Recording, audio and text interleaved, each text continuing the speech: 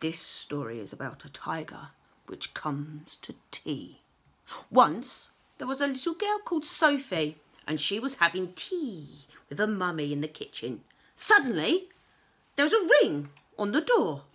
Sophie's mummy said, Oh, I wonder who that can be. It can't be the milkman because he came this morning. And it can't be the boy from the grocer's because this isn't the day he comes. And it can't be Daddy because he's got a key.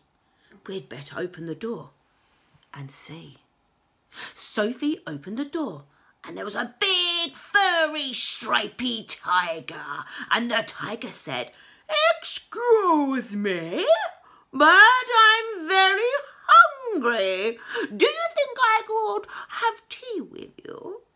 Sophie's mummy said, um, yeah, of course, come in. So the tiger came into the kitchen and sat down at the table. Sophie's mummy said, um, would you like a sandwich? But the tiger didn't just, just take one sandwich. He took the whole plate of sandwiches and swallowed them in one big mouthful. And then he still looked hungry. So Sophie offered him the buns. But again, the tiger didn't eat just one bun. He ate the, all the buns on the dish. And then he ate all the biscuits and all the cake until there was nothing left on the table. Sophie's mummy said, um, would you like a, a drink? And the tiger drank all the milk in the milk jug and all the tea in the teapot.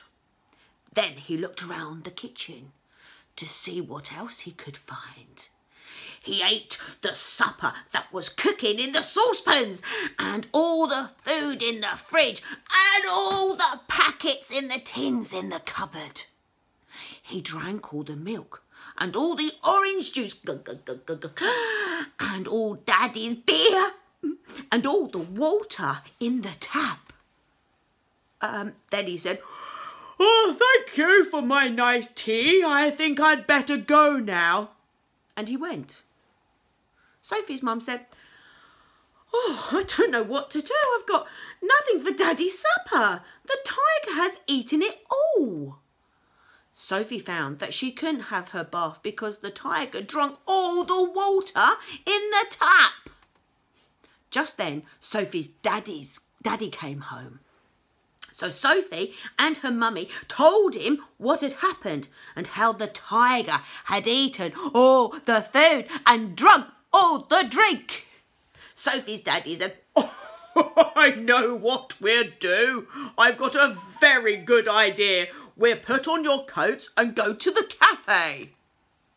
So they went out in the dark and all the street lamps were lit and all the cars and all their lights on and they walked down the road to the cafe. They had a lovely supper with sausages, chips and ice cream.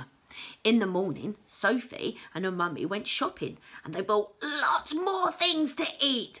And they also bought a tin of tiger food in case the tiger should come to tea again. Well, he might. Who knows? Goodbye.